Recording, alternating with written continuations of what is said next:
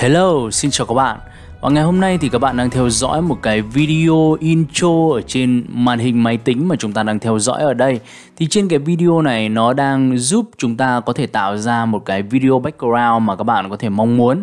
Và với cái video hướng dẫn này thì các bạn hoàn toàn có thể ứng dụng để tạo ra cho mình rất nhiều các video khác nhau.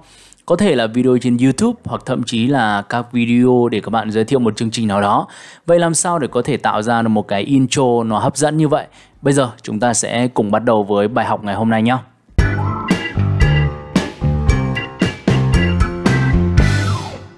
À, vậy thì các bạn sẽ nhìn thấy ở trên cái video mà Thầy Dương đang có tạo ở đây thì các bạn sẽ xem là mình đang à, tạo ra ba cái slide các bạn ạ chúng ta sẽ bắt đầu từ ba cái slide. Và các bạn nhớ rằng với cái phương pháp và với cái bước làm ở đây thì chúng ta cần phải có cho mình một cái kỹ năng để có thể sử dụng hiệu ứng thật tốt. Thì hiệu ứng tốt thì chúng ta mới có thể làm được các dạng video intro nó phức tạp như vậy được. Rồi bây giờ chúng ta sẽ thử nhá. À, chúng ta sẽ bấm vào phần home chọn new slide và chúng ta sẽ luôn luôn tạo ra một cái slide trống như thế này. À, và các bạn nhớ rằng chúng ta sẽ bấm vào phần view, chúng ta sẽ bấm vào phần cái lưới của nó. Đây, các bạn sẽ bấm phần lưới này để chúng ta sẽ quản lý và chúng ta sẽ căn chỉnh các vị trí của các đối tượng cho nó thật chính xác.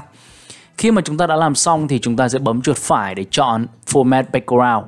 Và tiếp tục ở trong này các bạn chọn Color và chọn cái à, màu đen thì, thì tất nhiên ở đây nó sẽ là một cái màu nền để cho các bạn à, có thể sử dụng theo thôi. Còn sau này thì các bạn hoàn toàn có thể sử dụng rất nhiều những màu sắc khác nhau mà các bạn yêu thích nữa. Rồi các bạn sẽ nhìn thấy cái slide đầu tiên đúng không ạ? Chúng ta sẽ có 3 slide 1, 2 và 3 mỗi cái slide này nó sẽ có mỗi cái tính năng khác nhau. Ở đây thì chúng ta sẽ sử dụng một cái uh, hình khối tròn. Và các bạn sẽ thấy rằng ở trong này thì mình đang sử dụng thêm một cái hình khối nữa các bạn ạ. Đấy chúng ta đang có một cái hình khối này này. Đấy các bạn thấy chưa? Và cái hình khối này để làm gì và ở đây tại sao mà thầy Dương lại bấm chọn cái phần transparency tức là độ mờ của nó tăng lên 100% mà chúng ta không còn nhìn thấy nó nữa thì các bạn sẽ xem cái tác dụng của nó nhá. Đây, bây giờ chúng ta sẽ bắt đầu làm thôi. Các bạn sẽ bấm vào phần shape và vẽ ra một hình tròn. À, và cái hình tròn này to hay nhỏ thì nó tùy thuộc vào cái cách của các bạn thôi. Đây, các bạn có thể uh, điều chỉnh nó và tiếp theo chúng ta sẽ chọn màu. Ở đây thì mình đang sử dụng màu cam. Đấy, thì có thể các bạn sẽ lựa chọn những cái hình màu khác thì tùy vào chúng ta. Và sau đó thì các bạn sẽ làm sao để cái hình này nó chạy quanh các bạn ạ. Đây, nó chạy quanh một cái đường tròn như vậy, đúng không ạ? Nó chạy quanh như thế. Thì các bạn sẽ xem này. Ở trong này chúng ta sẽ cần nhân bản thêm, cần chôn D và chúng ta sẽ phóng lớn cái hình tròn này ra. Tiếp tục chúng ta sẽ đưa cái hình tròn này vào giữa. Được chưa thì khi mà các bạn phóng lớn cái hình tròn này ra rồi thì bây giờ mới đến lúc là chúng ta cần phải cho cái hình tròn này nó mờ đi một chút. À, nó mờ đi để làm gì? Đây các bạn sẽ nhìn thấy cái điểm mờ của nó. Và lúc này thì thầy Dương sẽ đưa cái hình tròn nhỏ nó sang phía bên cạnh này. Đây chúng ta phải cho cái hình này nó nằm ở phía sau đã. Và cho cái hình tròn nhỏ này nó nằm ở chính điểm giữa bên cạnh này. Đấy các bạn thấy chưa? Và lúc này chúng ta mới tạo ra một cái đường cong. Đấy chúng ta sẽ tạo ra cái đường cong để nó di chuyển cái đường tròn nó quay quanh cái điểm tròn ở phía M phía sau. Thì chúng ta sẽ làm tiếp theo như thế nào? À, các bạn cứ làm tiếp đi nhá. Chúng ta cứ thiết kế tiếp và lát nữa thì chúng ta mới đổi hiệu ứng cho nó được đúng không ạ? Đây chúng ta sẽ tiếp tục nhân bản cái này lên. Đấy các bạn cứ làm lần lượt thứ tự thôi. Và chúng ta sẽ xóa cái này đi. Xóa hết hình tròn. Và trong này thì chúng ta sẽ sử dụng các nhóm hình khối khác nhau. Đầu tiên là cái nhóm hình vuông trong cái hình vuông này thì các bạn lại tiếp tục thôi Chúng ta sẽ xoay nó. Đây, nó sẽ nằm với một cái góc như thế này. À, Có thể là tiếp tục là to nhỏ thì tùy vào các bạn Cái cách điều chỉnh của các bạn thôi. Và lúc này thì thầy Dương sẽ đổ phần Shape Format để chọn No Fill. Và tiếp tục Shape Outline thì chúng ta sẽ chọn một cái màu. Đấy, thì cái màu này là gọi là một cái màu xanh Thì các bạn có thể là tiếp tục thay đổi các cái, cái thông số màu khác nhau. À, Và khi mà các bạn đã tạo xong rồi thì chúng ta lại cần chôn D để tạo ra một cái hình khối ở phía trong. À, cái hình này thì chúng ta sẽ đổ màu vàng và chọn Shape Outline để tắt phần đường viền của nó đi. À, và các bạn sẽ nhìn thấy ở trong này thì chúng ta đang còn một cái đường như thế này đúng không ạ? Còn một cái đường màu trắng này nữa. Thì cái đường màu trắng thì các bạn sẽ làm như sau. Ở đây thì chúng ta sẽ sử dụng à, rất nhiều các cái kiểu khác nhau để các bạn làm có thể là các bạn sẽ vẽ ra những đường thẳng như thế này đấy thì nó cũng là một cái cách để cho chúng ta làm.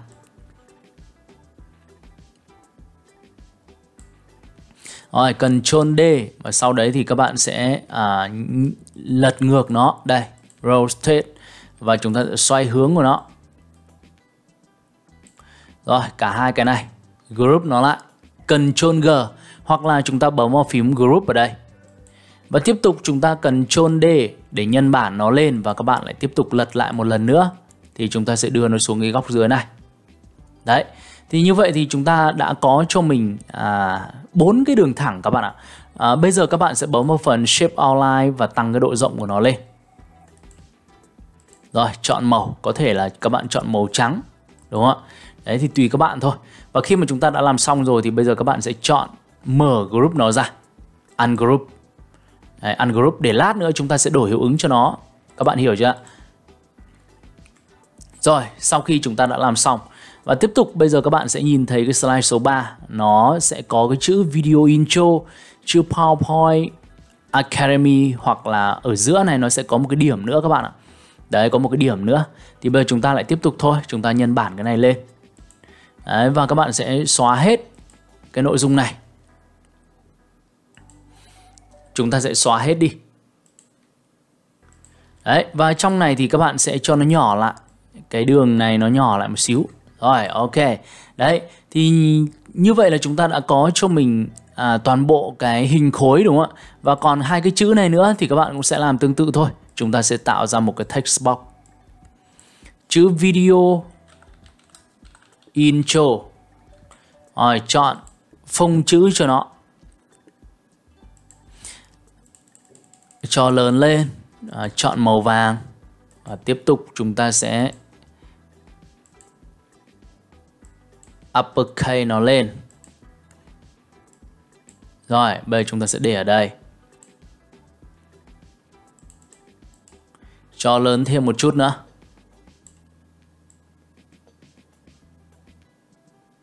Rồi, tiếp tục các bạn cần chôn D để chúng ta nhân bản và tạo dưới này một cái nội dung tiếp theo.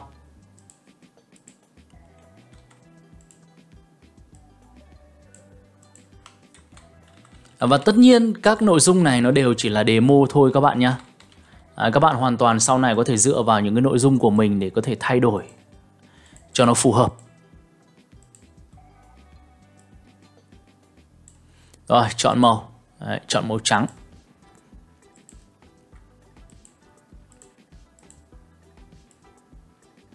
Ok, vậy thì sau khi mà chúng ta đã làm xong đúng không ạ? À, bây giờ các bạn mới đến cái giai đoạn thứ hai là chúng ta sẽ đổi hiệu ứng cho cái intro này. À, bây giờ các bạn sẽ quan sát lại cái intro đầu tiên mà Thế Dương đã có điều chỉnh ở đây. Chúng ta sẽ xem hiệu ứng chuyển động của nó như thế nào nhé. Mỗi cái hiệu ứng thì nó đều được kết nối với nhau đúng không ạ? Nó đều được kết nối với nhau. Đấy và các bạn sẽ thấy rằng nó rất là mượt và lưu ý rằng là intro thì nó chỉ có vài giây thôi các bạn ạ. Đấy intro video intro thì nó chỉ có vài giây thôi. Và các bạn đừng có quá tham lam rằng chúng ta làm một cái video nó nó nó nhiều giây ví dụ 10 15 giây thì nó quá là là là nhiều đúng không ạ? Nhiều sự chuyển động. À, bây giờ chúng ta sẽ đến phần đổi hiệu ứng các bạn nhé thì đầu tiên cái đường tròn này các bạn sẽ đổi cho nó một cái hiệu ứng. Ở đây nó chạy quanh đúng không ạ? Cái đường tròn này này shape. Đấy thì các bạn sẽ thấy rằng là nó đang chạy quanh. Đấy thì bây giờ mới đến cái lúc là chúng ta cần phải di chuyển cái này. Đấy, Các bạn di chuyển này. Đấy, Di chuyển nó vào à, Tại sao mà thầy Dương lại phải vẽ ra một cái đường tròn đúng không các bạn? Đấy các bạn thấy chưa Khi mà chúng ta kéo như thế này thì nó sẽ bao được cái đường tròn của chúng ta và nó sẽ chính xác hơn. Đấy, Và bây giờ chúng ta sẽ giữ vào đây à, Xoay cái hiệu ứng của chúng ta về cái vị trí của cái đường tròn vẽ ban đầu. Và tiếp tục ở trong này các bạn sẽ chọn grid Preview Đấy, Bây giờ chúng ta sẽ xem nhá Xem nó chuyển động nhá. Đấy các bạn thấy chưa? Nó đang chuyển động quay quanh cái đường tròn của chúng ta rồi. Đấy, vậy thì ở đây lúc này thì khi mà chúng ta làm xong rồi ấy, thì cái đường tròn này các bạn này. Cái đường tròn này đến cái lúc là chúng ta cần phải cho nó mờ đi. Đấy các bạn thấy chưa? Thấy cái ý đồ của chúng ta khi mà vẽ cái đường tròn chìm chưa? Cho mờ đi. Đấy. Rồi bây giờ chúng ta sẽ xem lại kết quả này. Đấy, đường tròn của chúng ta nó sẽ đang chạy quanh đúng không? Nó chạy quanh thì bây giờ khi mà nó chạy quanh rồi ấy, thì các bạn sẽ đưa nó vào bên trong ở giữa Đấy, chúng ta đưa nó vào giữa. Thì khi mà chúng ta kết hợp nhiều hiệu ứng với nhau ấy, thì các bạn sẽ bấm vào phần animation và chọn add animation. Và lúc này thì chúng ta sẽ thêm một cái đường line cho nó. Đấy, thêm một đường line à, đường line này thì bây giờ các bạn sẽ nhìn thấy có hai điểm màu xanh và điểm màu đỏ. Thì điểm màu xanh thì chúng ta sẽ giữ nguyên. Điểm màu đỏ này thì chúng ta sẽ kéo nó về vị trí ở giữa đây. Đây các bạn sẽ kéo nó vào nhá. Chúng ta sẽ kéo nó vào đúng vị trí ở giữa này đấy. À, tức là sao? Tức là khi mà cái đường tròn này nó chạy quanh một vòng đầu tiên nó về đến đây thì nó tiếp tục cái lượt thứ hai là nó chạy vào điểm giữa. Từ vị trí này nó chạy vào điểm giữa.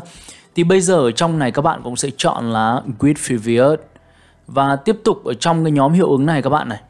Thì chúng ta sẽ đẩy cái hiệu ứng này ra phía sau. Đấy, chúng ta sẽ đẩy ra phía sau. Khi hiệu ứng đầu tiên kết thúc thì mới đến hiệu ứng thứ hai.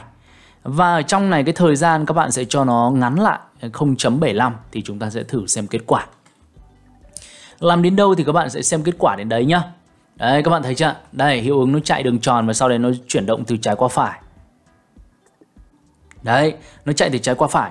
Vậy thì vậy thì tiếp tục các bạn sẽ quan sát ở cái slide số 1 này.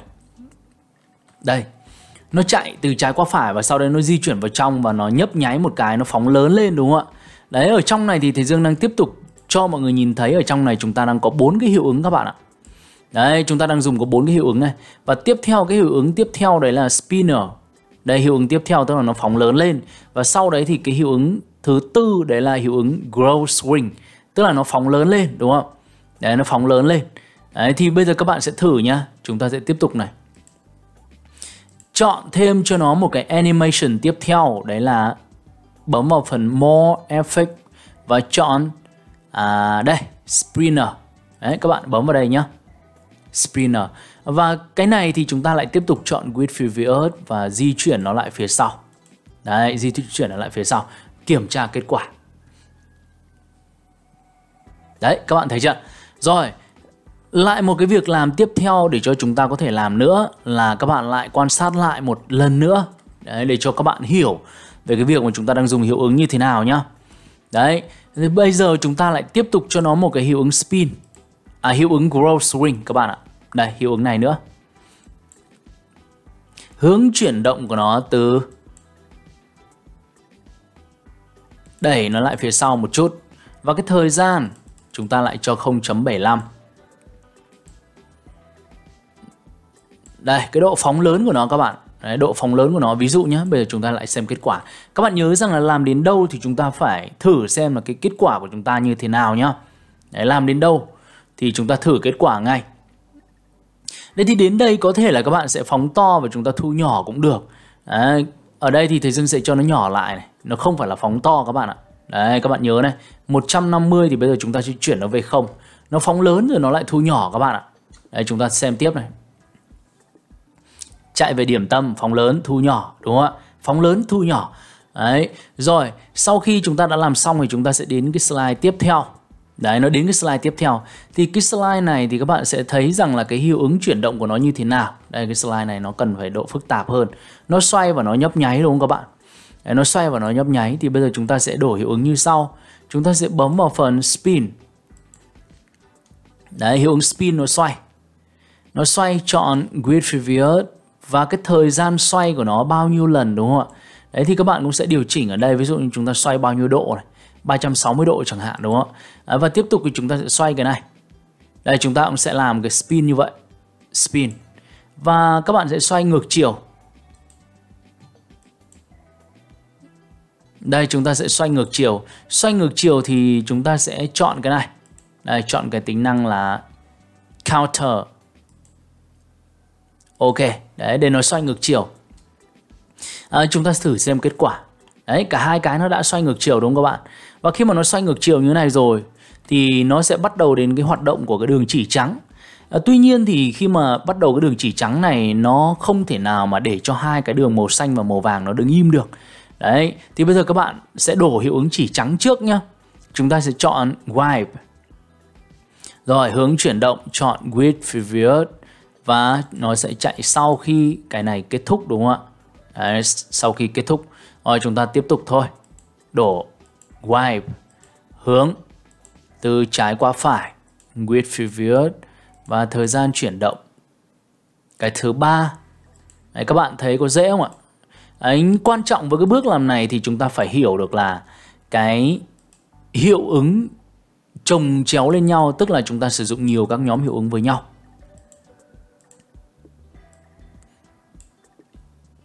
With Fever Đây, rồi bây giờ chúng ta thử xem kết quả. Hai cái này nó dừng lại thì bắt đầu là đường màu trắng nó chuyển động đúng không ạ? Nhưng mà các bạn lưu ý rằng là cái đường màu trắng này này à, khi mà nó chuyển động ấy thì chúng ta không thể nào mà để cho hai cái màu vàng và cái màu xanh này nó đứng im được. Vậy thì ở đây thì Dương lại muốn thêm cho nó một cái hiệu ứng nhấp nháy đúng không các bạn? Đấy các bạn sẽ chọn cái page này này. Đấy, nó nhấp nháy này. Và chọn with previous và nhớ rằng là cái này khi mà nó nhấp nháy, nó xoay, nó nhấp nháy, cả xoay cả nhấp nháy thì chúng ta sẽ đưa cái này về đầu. À, và cái thời gian chuyển động của nó, số lần lặp của nó, phần timing. À, ở đây các bạn có thể là chọn à, xem nào, chúng ta sẽ nhập số vào đây nhá, 20 lần. Đấy, các bạn sẽ cho nó nhấp nháy 20 lần được không? Và cái thời gian nhấp nháy có thể là các bạn cho 0.25 giây. Đấy. Tiếp tục cái này cũng vậy, chúng ta cũng sẽ chọn add animation page. Rồi chọn grid đưa cái này về đầu tiên. À, và tiếp tục ở đây chúng ta cũng sẽ chọn là 20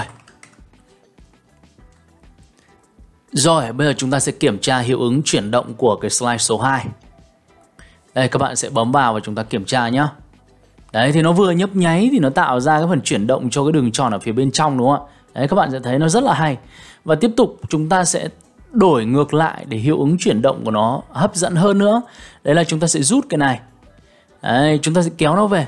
Các bạn xem này, Xem demo nhá. Đấy, nó quay trở về, đúng không ạ? Rồi nó mới mất đi, Nó hút vào, nó mới mất đi. Đấy, thì bây giờ các bạn sẽ lại làm thêm một lần nữa đây chúng ta tuy nhiên cái phần này thì chúng ta sẽ lại chọn cái chỗ này. À, chúng ta chọn wipe.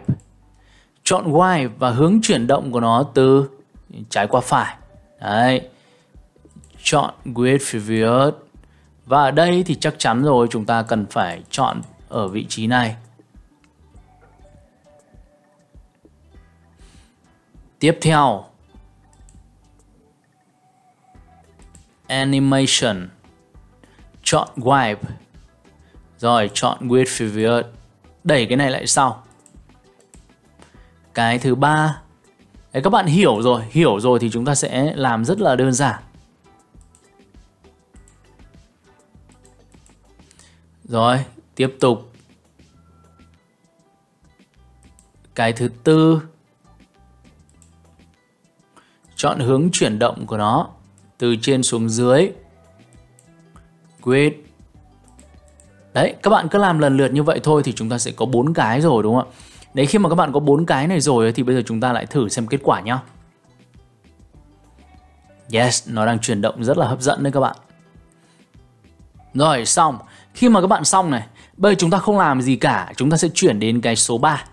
Được chưa? Chúng ta sẽ chuyển đến cái slide số 3. Và trong cái slide số 3 này chúng ta sẽ xem là cái hoạt hoạt động chuyển cảnh của nó như nào cái này nó phóng lớn lên nó di chuyển sang trái nó di chuyển sang phải và nó kéo cái chữ video của chúng ta vào. Đây các bạn xem này. Đấy chúng ta thấy chưa? Nó di chuyển sang trái sang phải. Đấy, kéo theo cái chữ. Và bây giờ chúng ta sẽ làm tương tự thôi. Đấy ở đây thì chúng ta sẽ di chuyển hai cái chữ này ra ngoài cái đã để chúng ta làm cho cái nội dung này. À, bây giờ các bạn sẽ à, chọn vào phần animation lines. Đấy, để chúng ta sẽ chuyển động cái này nó sang bên tay trái đây các bạn, chúng ta sẽ kéo nó sang bên tay trái nhá. Rồi, sau khi kéo nó sang bên tay trái thì các bạn sẽ chọn Grid previous. Đấy, thời gian chuyển động của nó có thể là một giây. Đúng không ạ? Nhanh hay chậm là do các bạn thôi. Đấy, nhanh hay chậm là do chúng ta thôi, đúng không? 0.75. Rồi tiếp tục các bạn sẽ bấm tiếp vào phần Add Animation và chọn Line thêm một lần nữa. Và cái mục đích của Line một lần nữa là các bạn sẽ đưa cái hình khối này từ vị trí bên trái sang vị trí bên phải. À, bây giờ chúng ta sẽ kéo cái điểm xanh này sang bên tay trái này. Rồi, tiếp tục kéo cái điểm màu đỏ này nó sang bên tay phải. Và đi đến đâu? Đi đến, các bạn sẽ nhìn thấy cái video intro chúng ta dừng ở đây này. Thì cái điểm này nó sẽ dừng ở đây là hợp lý đúng không ạ? Đấy, nó dừng ở đây là hợp lý. Bây giờ các bạn sẽ xem kết quả nhá. Chọn with previous và đẩy cái này ra phía sau. Thời gian chúng ta sẽ chuyển về 0.75. Kiểm tra. Đấy, các bạn thấy chưa? Nào, nó nằm ở giữa này, nó chuyển động sang trái, sang phải, đúng không chưa? Đấy rồi, bây giờ sau khi chúng ta đã làm xong thì chúng ta sẽ đưa cái này lên. Hai cái text box, hai cái vị trí nội dung của chúng ta lên đây. Đấy, tiếp tục cái video intro thì các bạn sẽ chọn một cái hiệu ứng wipe. Wipe này là nó sẽ hợp lý nhất bởi vì từ bên trái sang bên phải nó chạy theo cái hình khối của chúng ta, đúng không ạ? Đấy, nó chạy theo hình khối của chúng ta, grid previous. Rồi, cái này khi mà nó kéo sang thì các bạn sẽ bắt đầu xuất hiện cái nội dung chữ của chúng ta luôn. Đây thì chúng ta sẽ để ở đây. Và tiếp tục ở chỗ này chọn y và hướng từ trên xuống dưới chọn grid previous. Đấy, đẩy nó lại phía sau một chút. Đấy, thì tùy các bạn thôi nhá. Cái thời gian delay của nó như thế nào ấy thì do cái cách các bạn điều chỉnh. À, và bây giờ chúng ta sẽ kiểm tra này. Và tất nhiên khi mà mọi cái chuyển động này á thì các bạn sẽ thấy rằng cái chuyển trang của nó đang cần phải chúng ta phải next slide thì nó mới chuyển trang đúng không ạ? Đấy các bạn sẽ bấm enter hoặc là click chuột thì nó mới chuyển trang. Đấy thì các bạn cứ kiểm tra trước đi đã rồi chúng ta sẽ chuyển trang sau. Ok, đấy thì bây giờ các bạn sẽ chọn cả ba cái slide này. Chúng ta sẽ chọn transition và chọn một cái hiệu ứng chuyển trang. Fly through. Các bạn chọn cái này. Hủy tích chọn Upster. Tức là khi mà chúng ta hủy tích chọn Upster ấy là tự động video nó sẽ tự động nó chuyển. Nó hết thì nó tự động nó chuyển trang. Nào các bạn sẽ xem kết quả nhá. Đấy, thấy chưa? Thời gian ngắn hay dài là do chúng ta điều khiển trong cái phần delay. Yes. Ok. Đó, các bạn thấy hay không? Nào bây giờ ở đây thì mình sẽ không bỏ cái này nữa, mình sẽ dừng lại ở đây luôn. Rồi các bạn sẽ xem này. Xem lại một lần nữa.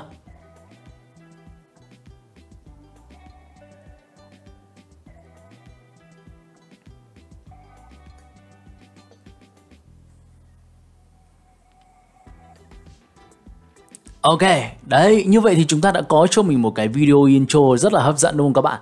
Vậy thì các bạn sẽ dựa vào cái bước làm và dựa vào cái cách làm như vậy để chúng ta tự sáng tạo thêm một số các cái video khác. Và sau khi các bạn đã làm xong thì chúng ta sẽ bấm vào phần File, Export để chúng ta sẽ xuất bản ra một cái video và như vậy là chúng ta đã có cho mình một cái video intro sẽ cực kỳ chất lượng và các bạn có thể ứng dụng cái bước làm này để chúng ta sẽ tạo ra rất nhiều những cái video intro khác nhau mà mình mong muốn nhá. Ok, vậy thì xin chào và hẹn gặp lại tất cả các bạn ở các video lần tiếp theo. Nếu các bạn cảm thấy video này hữu ích hãy bấm like, share và subscribe kênh để theo dõi nhiều các video mới nhất của mình.